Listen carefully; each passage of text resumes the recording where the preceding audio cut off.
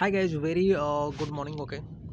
I have chosen this topic because you already know the manipur election is going to be held right?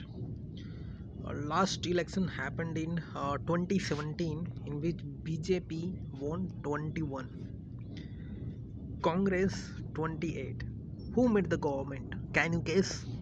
Obviously the bjp plus naga people party plus naga people front plus lok janshakti party right?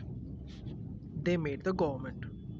Your question will be uh, sir there is manipur and there is naga. Why?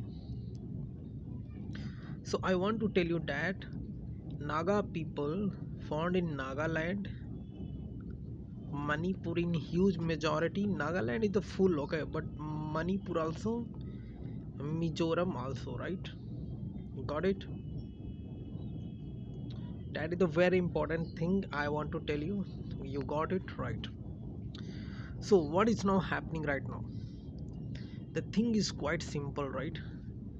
Uh, there was defection from the bjp party. Into which can you guess?